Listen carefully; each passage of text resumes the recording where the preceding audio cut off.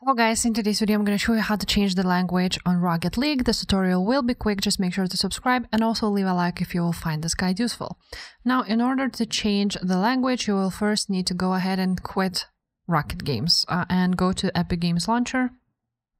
After you are on Epic Games Launcher, you want to click on your profile icon at the top right corner and then go to Settings.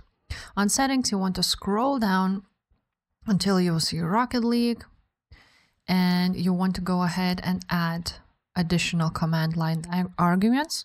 So that would be just write down language, uh, dash language, and then equal sign. And then you're gonna need to write down your language code. So if it's English, it's gonna be EN. If it's, for example, Portuguese, you're gonna write down PTB. Spanish would be ESN and many, many other codes. So I'm going to leave them in the description for you to copy.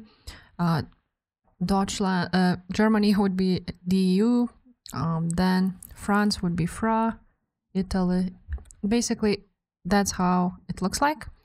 Now, uh, once you will click on that and manage the settings, you want to go ahead now launch Rocket League and see if that changed. And now, as you can see, uh, the uh, language has changed.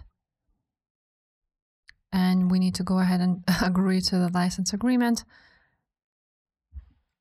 And that's how it looks like. As you can see, the language has changed. So if this video was helpful, guys, make sure to subscribe and I will see you next time. Bye.